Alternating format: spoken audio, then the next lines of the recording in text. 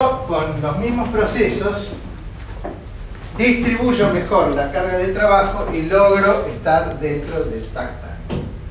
Si esto no pasa,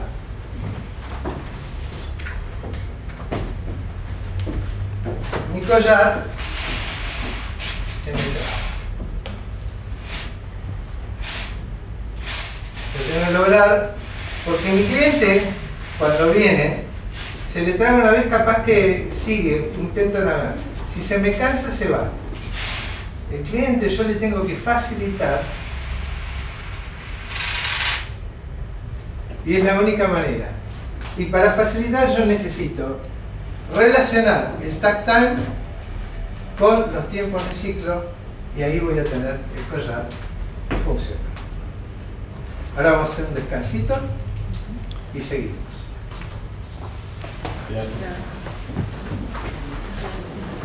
Déjalo.